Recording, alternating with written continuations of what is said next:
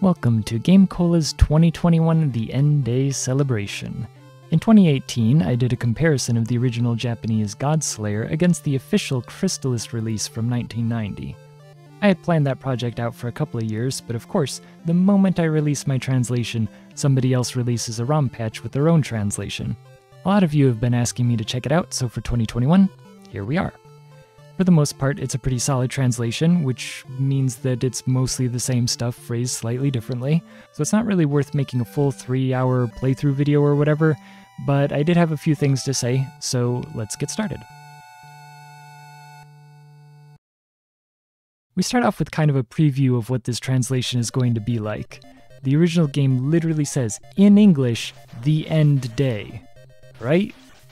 And here they are changing it up, even though that's not what it says. But you know what? I'm gonna give this one to them. After playing the entire game with this translation, comparing it to my original comparison video, uh, to see what the Japanese and original translation said, I realized that their goal wasn't the world's most literal Godslayer translation, which was kind of what mine was.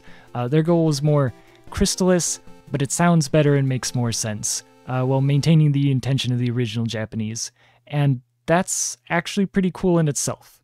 Uh, so, anyway, yes, October, the month, the general time period, the end of days. The next one is an issue with my own translation, and it kills me that I published the video like this. The correct translation is windmill. That's what it says in Japanese. I have no clue how I got lighthouse in there. It's not even a mistranslation and it's not really a typo. It's just me sitting there going, oh, you know, that tall building with the spinny thing, you know, yeah, that. Anyway, the next line I had some trouble with. I couldn't really tell you who's right. Uh, my translation is literal to what was said, but probably misses out on some context of an idiom that I'm just not familiar with. So, who knows? Maybe they're right, maybe I am. I couldn't tell you. Oh, the orcs. In Japanese, they said some gibberish, which I translated as is based on how it sounded, uh, while they decided to make it more English sounding gibberish, which is cool. I don't really have any complaints with this, just uh, something to note. I was a little disappointed that they didn't keep the speech style that was present in Japanese uh, after you got telepathy. Um, in Japanese, they had very inarticulate, stilted sort of speech. Uh, it would have been cool if they'd kept that.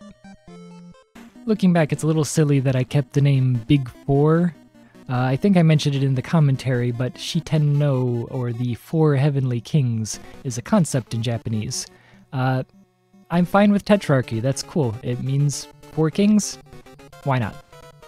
I mentioned in my video that I had trouble with the Tokimeki no Rampu translation, and I went with throbbing for the sake of being literal, uh, but I can agree that this is probably more accurate to the actual intention of the original Japanese.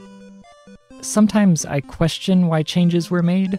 In this case, the soldier says we in Japanese, but they translated it as I. Again, I guess they're trying to make the text a little more natural, uh, but it seems like a silly change. Oh hey, they named him Evans too. I just thought that was neat.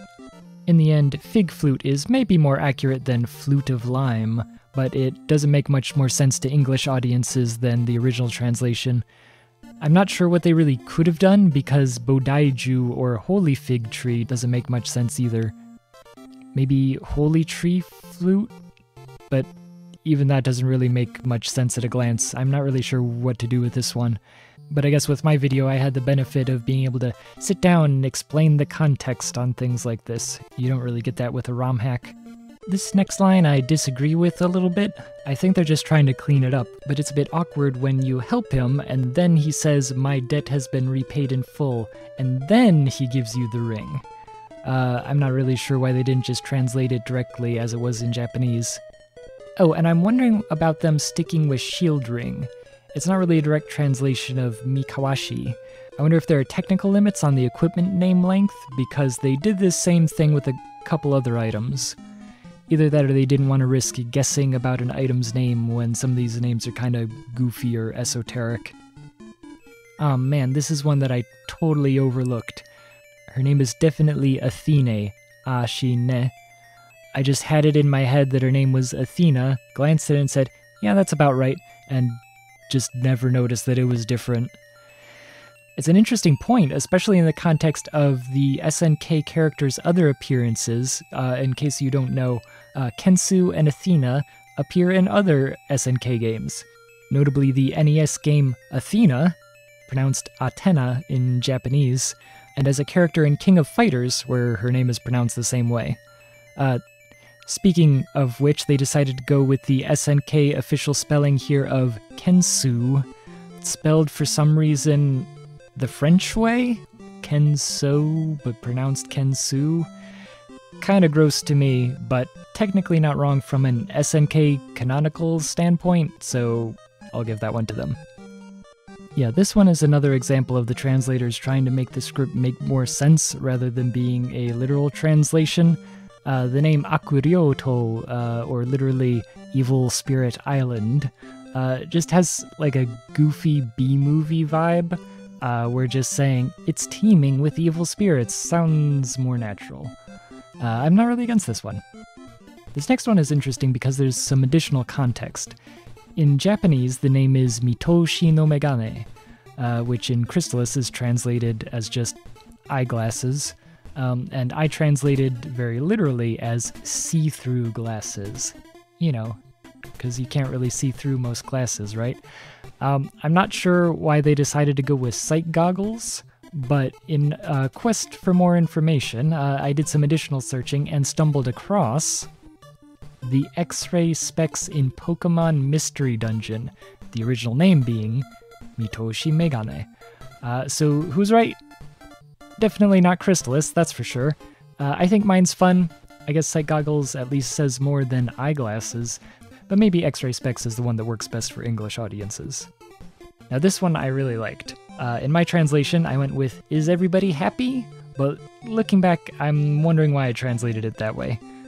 I gave context to the meaning in my commentary, but I feel like "Are you feeling it?" does a better job at capturing the feel of the original. I can forgive this next one because sometimes the Japanese really go out of their way to make things difficult to translate, I'm not entirely sure where they came up with shiny, but I can tell you where I came up with my own translation. Uh, basically, after my dictionary search didn't come up with anything good on Tsune Tsune, uh, I put the phrase into Google image search and came up with all these pictures, including the Dalai Lama pinching some guy's cheeks. Hopeta means cheek, and Tsuneru means pinch. So if you kawaii-ify Tsuneru into Tsune Tsune, uh, I'm pretty sure I got what they were going for, hopefully. Oh hey, we translated the line the same way. High five! This one's kind of funny because it's a scenario where they went with a more literal translation, while I took a more artistic approach for some reason.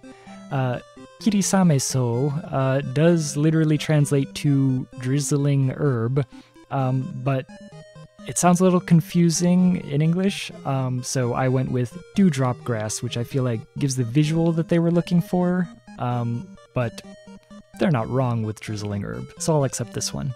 Oh, and immediately following is another one that's difficult to translate. I appreciate their simple solution.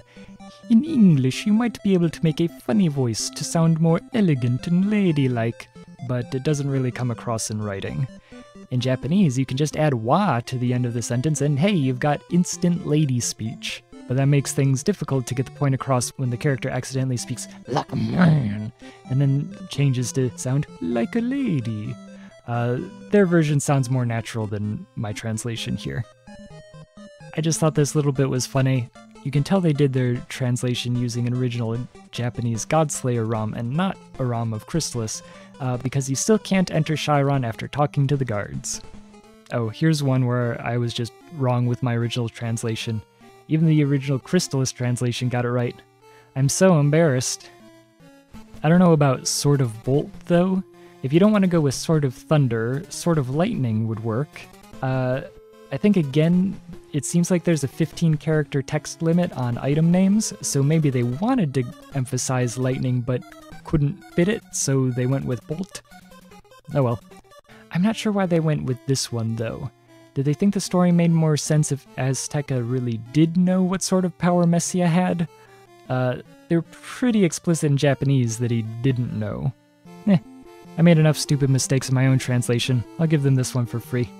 Speaking of stupid mistakes in my own translation, yikes. I really goofed up on this one. Kensu definitely tells you that they were saying it's a weapon.